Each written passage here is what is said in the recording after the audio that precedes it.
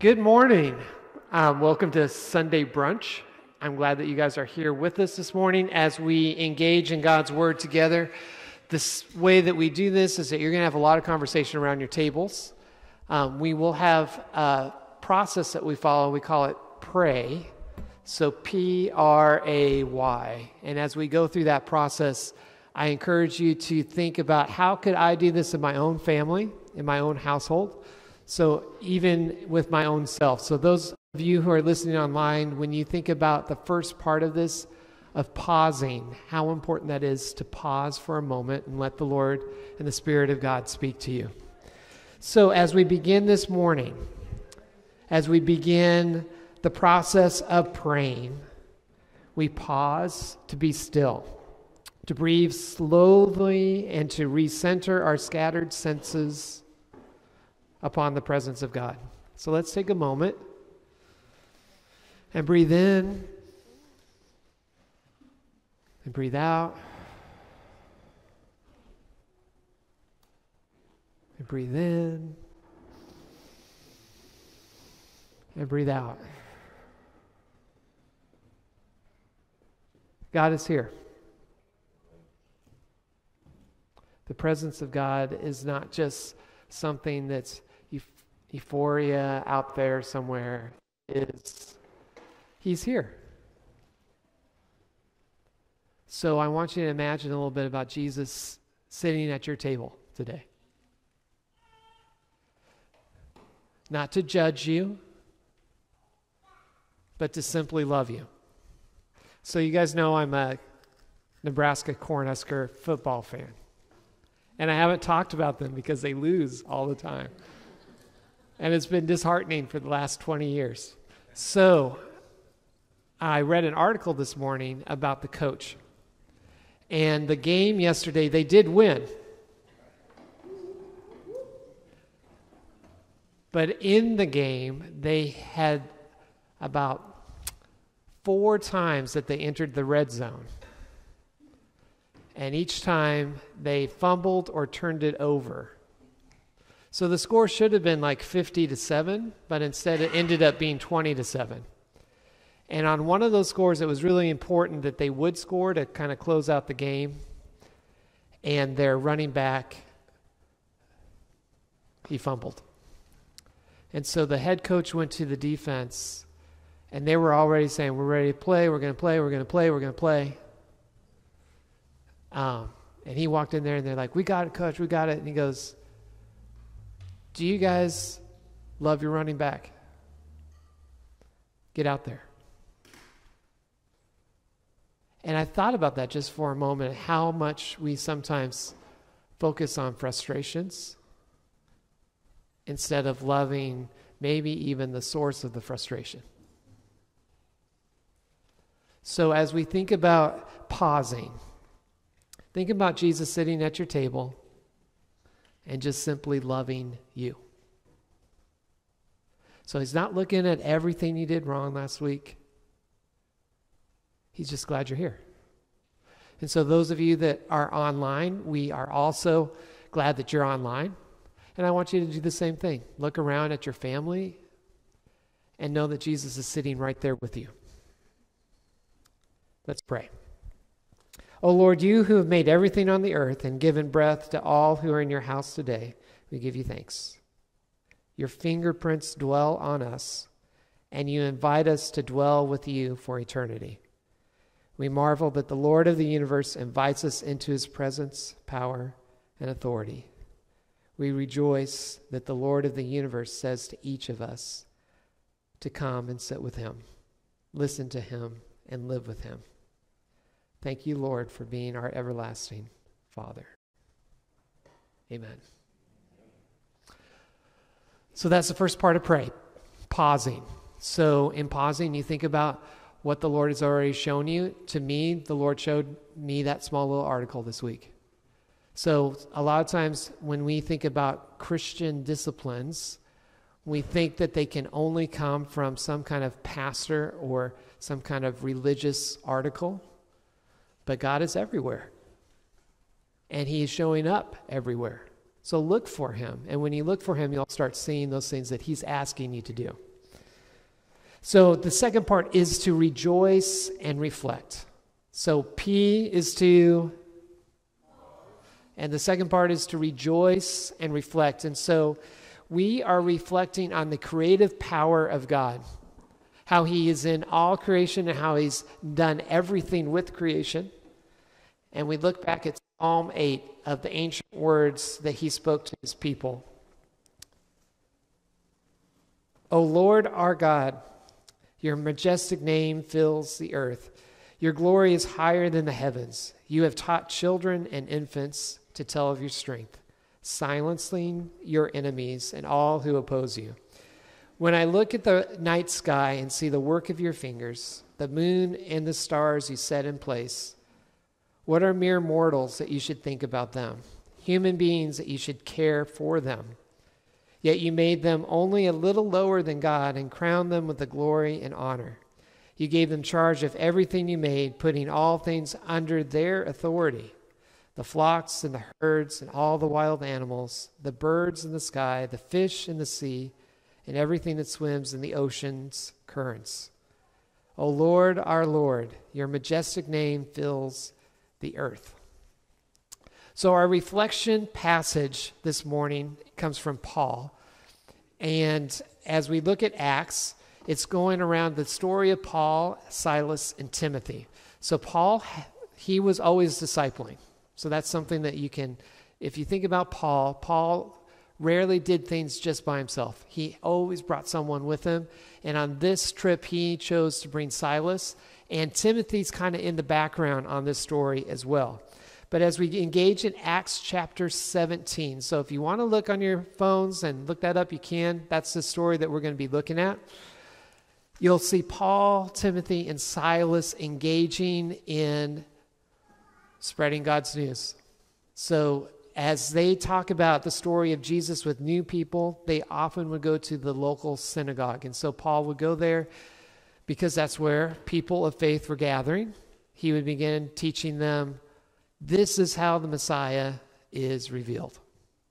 And then he would see, you know, many times he'd have a lot of people upset with him, and then they'd start shoving him out of the city. They'd stone him, whip him, whatever it take, get him out of their system, right?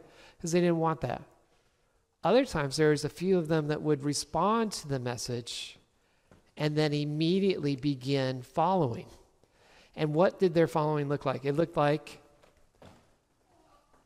if all the rest of you took me out and stoned me, this table would invite me over to their home to great danger and peril of themselves because they've just told the rest of the community, I don't care what you do to us.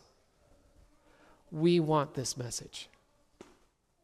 I think that's pretty dramatic as you think about the beginning of the church and what the church was trying and how the church started under the, the grace of God. So, one of the things that occurred in this chapter is as Paul was preaching to a community of believers, the synagogue, there began this common thing that we know of jealousy. And it says it very clear in there in the scripture that jealousy began to erupt among the Jews who didn't receive the message. And I found that interesting in this chapter. That Again, here's my people. You all didn't receive the message. You're jealous of them. Why? I mean, perhaps the message of Jesus, as Paul preached it, was just too simple. It didn't involve all the rules and regulations. And I'm preaching to this group and saying, love Jesus and love your neighbor. And you're thinking about, boy, we can't touch anything on Sundays, we can't do anything, we can't eat certain foods, we can't do this because we're trying to appease an angry God and hope that he won't have his vengeance upon us. Maybe it's that. Or maybe it was that the inclusion of Greeks or people who were not Jews, Gentiles. This group wouldn't have just been Jews, it would have also been some Gentiles. Were you upset about that? That it was a mixing of those groups. Now remember that for Jews to invite a Greek into your home or someone who was not Jewish, it made your house unclean, made you unclean. Or maybe it was because they all had this joy that they really wanted and they didn't understand why they had it. I don't know, but that was one word that struck me is Jew, the jealousy that erupted among the Jews who didn't receive the message. And we don't know exactly why, but I do think that jealousy prompts people to do things that they wouldn't nor- normally do or ordinarily do. But there was a guy named Jason among them. So we'll make Tyler Jason. Jason, who believed this message, he then invited Paul over to his house, like I had said in the beginning. And the leader of the church, he would have been kind of the leader in a sense. He was hosting this part. They're going, the rest of you are going after Paul. You can't stand him, you want to get rid of him. But Jason has already sent Paul on his way. And so then they go after Jason. Because when you can't get the person that you're mad at, then you just go after whoever is in the way. And I found that to be interesting. That here, historically, this is what's going on in the church, but isn't that what we do today too? When jealousy erupts, think about who you start becoming angry at when you can't get to the person that you're really mad at. So, in the leader of the church, of the Jerusalem church of the day, was James. We talked about him a little bit in the last few weeks. Now, this is not Peter, James, and John. Remember, James has already been killed at this point. This is James, we believe, the brother of Jesus. So, a younger brother of Jesus from Mary and Joseph at that time. He is brought as kind of the leader of the Jerusalem church. And he wrote a letter called James. This is what he says What is causing the quarrels and fights among you? Don't they come from evil desires at war within you? You want what you don't have, so you scheme and kill to get it. You are jealous of what others have, but you can't get it, so you fight and wage war to take it away from them. Yet you don't have what you want because you don't ask God for it. And even when you ask, you don't get it because your motives are all wrong and you want only what will give you pleasure. So, Paul, Timothy, and Silas were not found by the Jews. They actually went on to another part of the country. And as Paul's preaching the message, he moves on to this area called Thessalonica. And as he's in there, he moves on to another place because they get upset with him. And it's the area called, that you probably well know, is Athens. So, Greek or Greece. So, Athens has been around for a long time. And as he goes into Athens, of course, they have a lot of these different gods. And he's walking through seeing these saints as he calls for Silas and Timothy to come and join him. And that leads us to the part that we're going to read today. So I want you to listen real carefully as we read through this story. And then don't look at the verses again because one of you will retell the story at your table.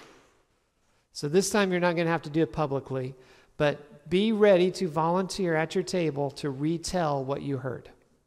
Here we go. While Paul was waiting for them in Athens, he was deeply troubled by all the idols he saw everywhere in the city. he went to the synagogue to reason with the Jews and the God fearing Gentiles. And he spoke daily in the public square to all who happened to be there. He also had a debate with some of the Epicurean and Stoic, Stoic philosophers. When he told them about Jesus and his resurrection, they said, What's this babbler trying to say with these strange ideas he picked up? Others said, He seems to be preaching about some foreign gods.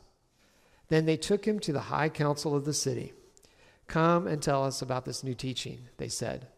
You are saying some rather strange things, and we want to know what it's all about. It should be explained that all the Athenians, as well as the foreigners in Athens, seemed to spend all their time discussing the latest ideas. So Paul, standing before the council, addressed them as follows Men of Athens, I notice that you are very religious in every way. For all for as I was walking along, I saw many of your shrines, and one of your altars had this inscription on it to an unknown God. This God, whom you worship without knowing, is the one I'm telling you about. He is the God who made the world and everything in it. Since He is Lord of heaven and earth, He doesn't live in man made temples, and human hands cannot serve His needs, for He has no needs. He Himself gives life and breath to everything, and He satisfies every need. From one man, He created all the nations throughout the whole earth. He decided beforehand when they should rise and fall, and he determined their boundaries. His, pur- his purpose was for the nations to seek after God and perhaps feel their way toward him and find him, though he is not far from any one of us. For in him we live and move and exist. As some of your own poets have said, we are his offspring. And since this is true, we shouldn't think of God as an idol designed by craftsmen from gold or silver or stone. God overlooked people's ignorance about these things in earlier times, but now he commands everyone everywhere to repent of their sins and turn to him. For he has set a day for judging the world with justice, and he has appointed. And he approved, and he proved to everyone who this is by raising him from the dead. When they heard Paul speak about the resurrection of the dead, some laughed in contempt. But others said, We want to hear more about this later. That ended Paul's discussion with them, but some joined in and became believers. Among them were Dionysius, Diocenes, a member of the council, a woman named Damaris, and others with them. So, who would like to retell this story at your table? And you can go ahead and start now. Remember, as we retell the stories, actually, I'm going to just pause you from retelling the story, is a long reading. So I'm not expecting you to get every detail. L- retell the story of what you remember and start now. No, go ahead.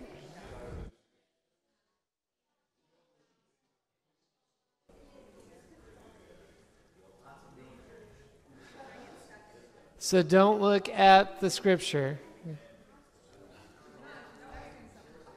If you have finished telling the story at your table, go ahead and raise your hand. Okay, great. Okay, so everyone that didn't retell the story, this is new, so get ready for this. You're now on board someone from your table, other than the person that retold the story, retell one thing that you remember from what they said, something that stuck out. So back here.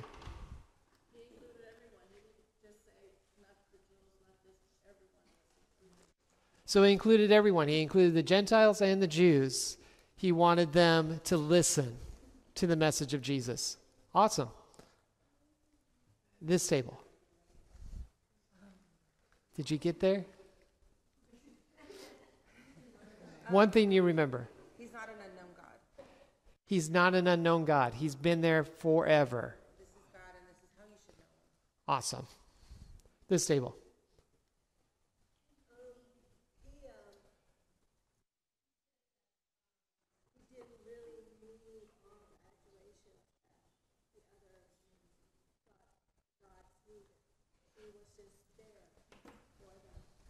So he is different from all the other gods.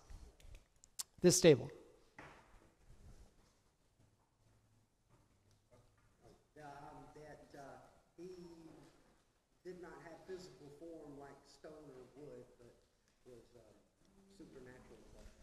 So he wasn't an idol that you could start that you could carve from stone, wood, or melt gold into. This table. the Athenians were open to hearing more about uh, the message, and some of them actually followed Paul. So here in Athens, this very secular city, and they have all these gods to choose from. Some of them believed and followed. This table back here.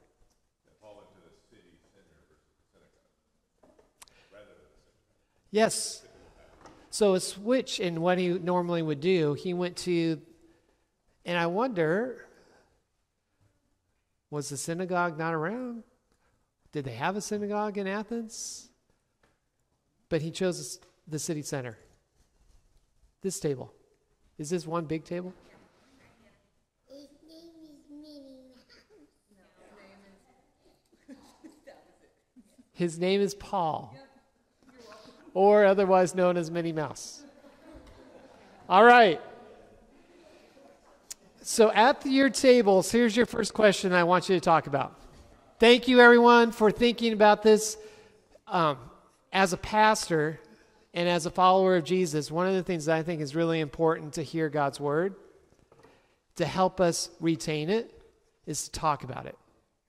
So, when we just read it, sometimes we don't really get into the meaning of it unless we actually listen to other people talk about it. So that's one of the reasons why we do it this way. All right, so at your tables, who is someone you know who's religious, regardless of what kind of religion? So they don't have to be Christian, they can be anything, but they are very religious. And I want you to think about that term. So go ahead and talk at your tables. And this is not gossiping. This is actually just stating facts. This person is very religious.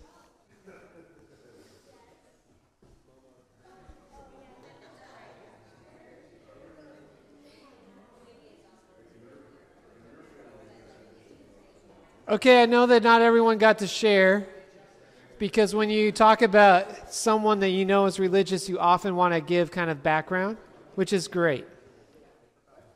So if you didn't get to share at your table of someone that you think is very religious, that's okay. Just retain it in your head because these are two questions I didn't add in here, but I'm going to now. So, who says that being religious is really positive? Did you hear some positive attributes of that?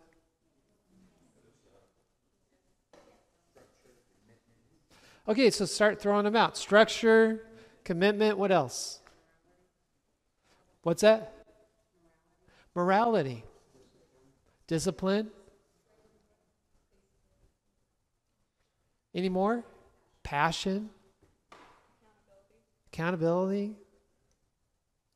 Okay, now, of the people that you're thinking who are very religious, do you see some negative aspects? Okay, closed mindedness. Angry. Judgmental.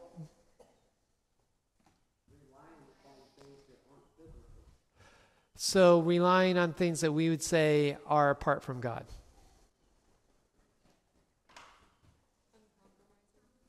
Uncompromising. I didn't hear you, Marika. I'd still entitled.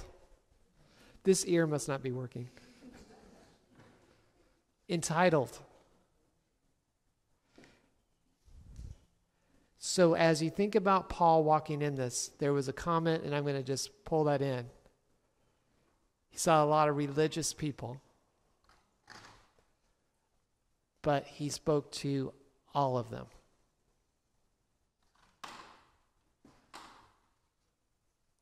He didn't look for the most religious or the most unreligious. He didn't look for the person that was saying, I really love Jesus, or I, I want something different. He just spoke to all of them. Now, if God is revealed through his creation, why do you think Paul still told the people of Athens about Jesus? So, just to uh, give you a little more background on this question, if God says that he can be seen through anything, why does Paul need to tell them about Jesus? Go ahead and talk at your tables.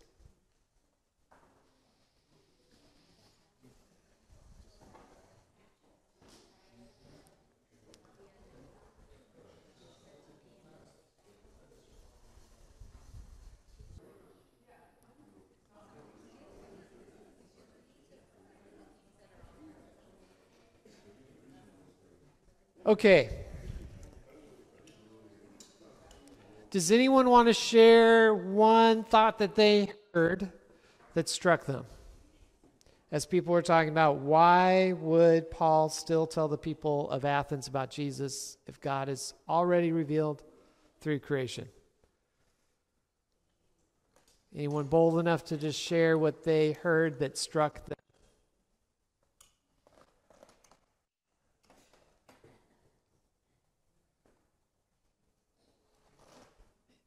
Thanks, David.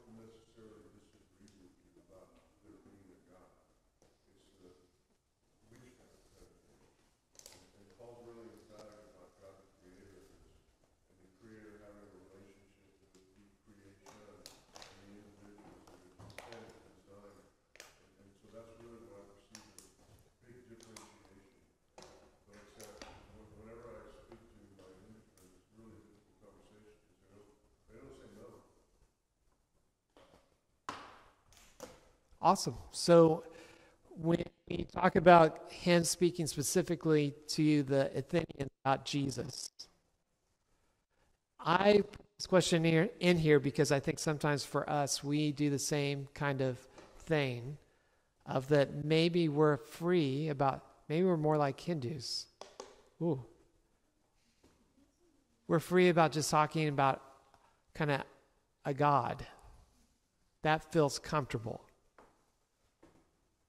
but putting Jesus maybe makes it a little more uncomfortable. And I do think looking at the story through the whole chapter of 17, you have to think about Paul.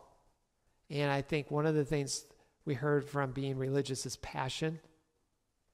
The passion that he had behind this, mes- this message.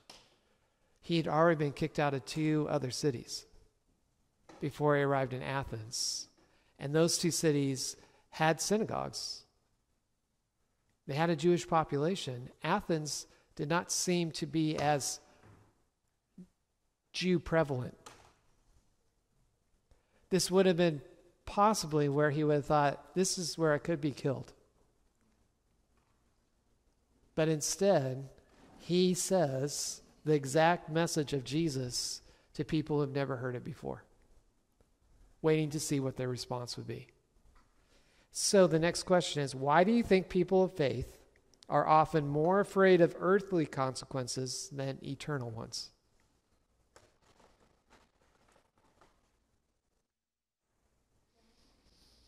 And you can just shout it out. We're not going to do a table discussion because we've got to move on.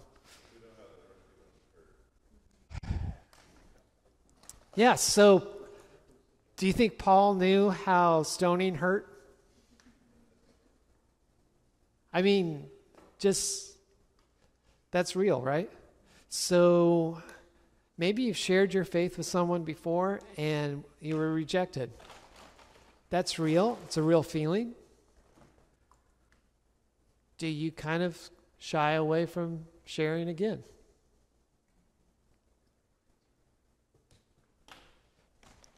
But beyond that, they hurt. So why do we pull onto those more than eternal ones? They're immediate.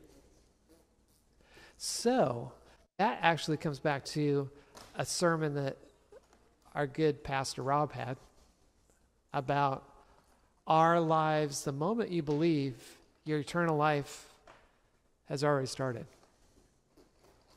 It's very immediate, but somehow the tangible hurts are more immediate to us. When you break your leg, it's immediate.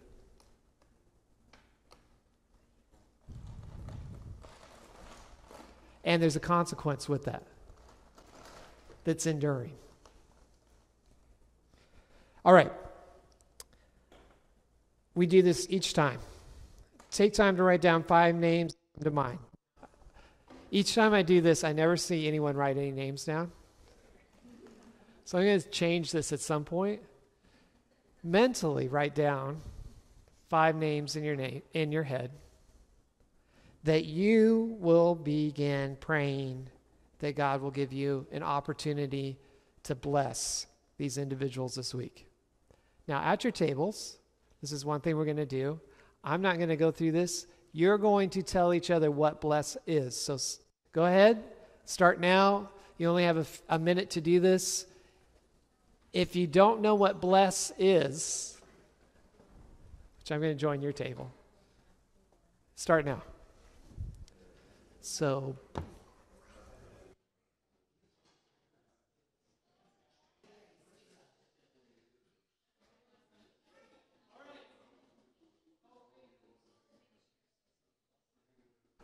okay, hopefully you've done the B L E S S. I'm sure you're talking about other things at this point. Listen to the story again and see if the Spirit of God speaks something directly to your heart. While Paul was waiting for them in Athens, he was deeply troubled by all the idols he saw everywhere in the city. He went to the synagogue to reason. Oh, there's my answer. Yeah. So I miss that. Look what struck me. He went to the synagogue to reason with the Jews and the God fearing Gentiles, and he spoke daily in the public square to tell all who happened to be there. He also had a debate with some of the Epicurean and Stoic philosophers. When he told them about Jesus and his resurrection, they said, What's this babbler trying to say with these strange ideas he picked up? Others said, It seems to be pre- he seems to be preaching about some foreign gods. Then they took him to the high council of the city. Come, tell us about this new teaching, they said. You are saying some rather strange things, and we want to know what it's all about. It should be explained that all Athenians, as well as the foreigners in Athens, seem to spend all their time discussing the latest ideas. So Paul, standing before the council, addressed them as follows Men of Athens, I notice that you are very religious in every way. For as I was walking along, I saw your many shrines, and one of your altars had this inscription on it To an unknown God. This God, whom you worship without knowing, is the one I'm telling you about. He is the God who made the world and everything in it. Since he is the Lord of heaven and earth, he doesn't live in a man made temple. And human hands can't serve his needs, for he has no needs. He himself gives life and breath to everything and satisfies every need. From one man, he created all the nations through the whole earth. He decided beforehand when they should rise and fall, and he determined their boundaries. His purpose was for the nations to seek after God and perhaps feel their way toward him and find him, though he is not far away from any one of us. For in him we live and move and exist. As some of your own poets have said, we are his offspring. And since this is true, we shouldn't think of God as an idol designed by craftsmen from gold or silver or stone. God overlooked people's ignorance about these things in earlier times, but now he commands everyone everywhere to repent of their sins and turn to him. For he has set a day for judging the world with justice by the man he has appointed. And he proved to everyone who this is by raising him from the dead. When they heard Paul speak about the resurrection of the dead, some laughed in contempt, but others said, We want to hear more about this later. That ended Paul's discussion with them, but some joined him and became believers. Among them were Dion- Dionysus, a member of the council, a woman named Demarius, and others with them. So, at your tables, what does this tell you about God?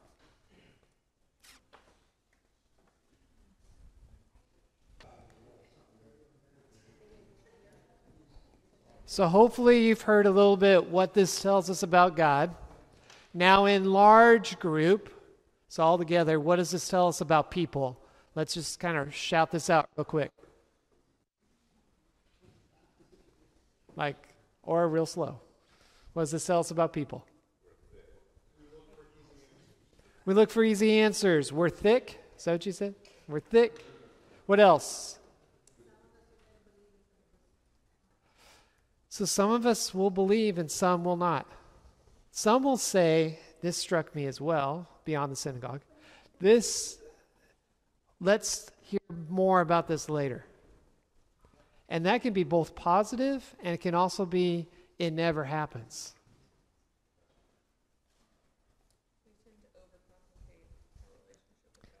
We tend, or we do, overcomplicate our relationship with God. If Paul walked through Houston today, he'd walk through a lot of Christian churches and say, You've got a lot going on here, but I don't see Jesus.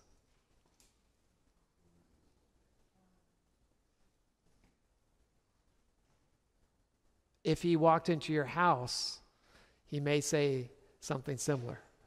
You got a lot going on, but where's Jesus? What else does it tell us about people? Anything else?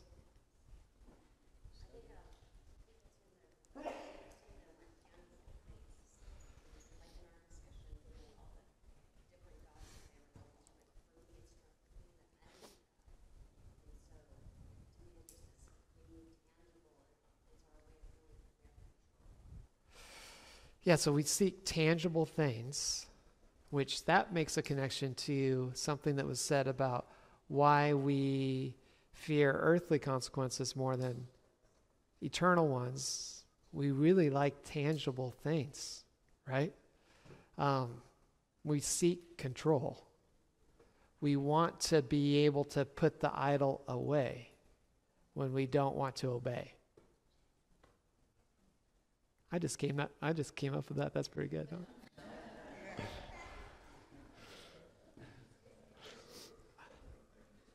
All right. I want you to think about this eternally, eternally, and internally. Did you? Were you hoping I'd catch that?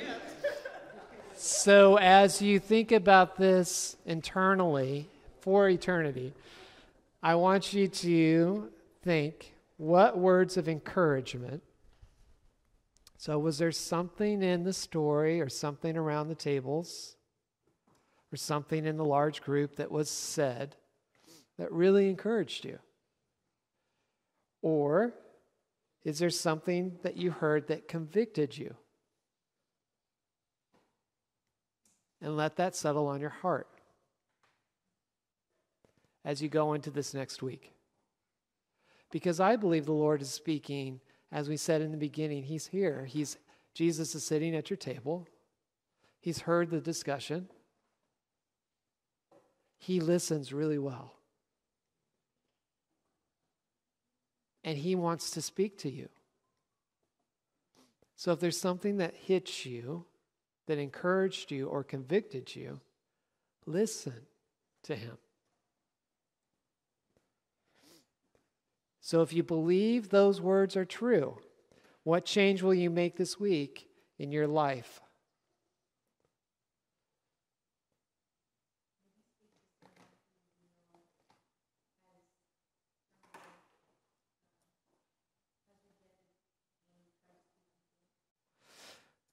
So it could be things like that, Rosalina. Thanks for sharing. You don't have to share right now. I mean, I love that you did. So maybe the Lord is convicting or encouraging you. It can be both. And to speak to someone who has kind of rejected Jesus in the past, as far as you know. I mean, we don't know. Really, I don't know. Only He knows who has accepted or rejected. All right, we're on to the next part. So the reflection and the rejoicing is always longer than everything else. Here we're at asking. So we're going to be asking God to help us make the changes that we heard as we walk through this today. We're going to pray for those who are religious but don't know Jesus. So I want you to think about those individuals. You can be religious and know Jesus. You can.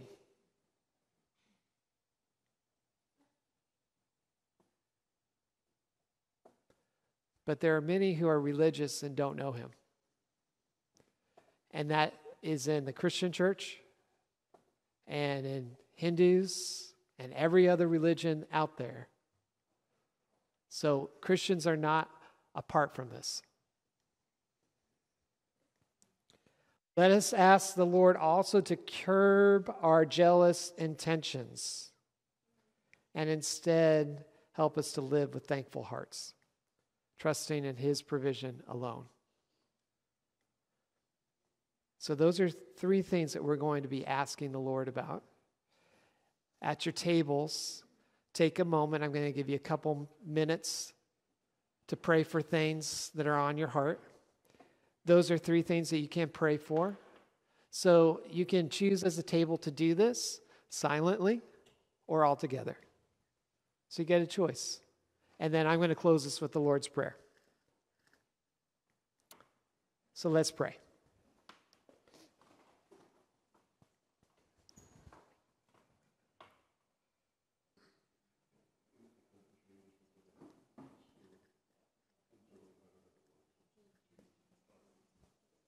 Heavenly Father, you have heard our words. You know what is on our hearts. You know us intimately, and you love us infinitely. Lord, we thank you that you are a God who can sit down with us, who's made us in your image, and have called us to be your children. And as your children, we pray the prayer that your Son taught us Our Father, who art in heaven, hallowed be thy name. Thy kingdom come, thy will be done on earth as it is in heaven. Give us this day our daily bread, and forgive us our trespasses, as we forgive those who trespass against us. And lead us not into temptation, but deliver us from evil. For thine is the kingdom, and the power, and the glory, forever and ever. Amen. So we're at the last part here yielding. So, Lord, we ask you to help us to yield to who you are and who you made us to be. Help us to be brave, sharing your story wherever we find ourselves. We are not Paul, yet we can learn from his actions of tenacity with sharing your story, regardless of the consequences. So often we look at earthly consequences like they are more severe than the consequence of living without you. Help us to see the blessing in serving you no matter what. Help us to trust you, to trust your protection, your provision, and your power over all else. And join me in our closing prayer. Father, help me to live this day to the full, being true to you in every way. Jesus, help me to give myself away to others, being kind to everyone I meet. Holy Spirit, help me to love the lost, proclaiming Christ in all I do and say. Amen.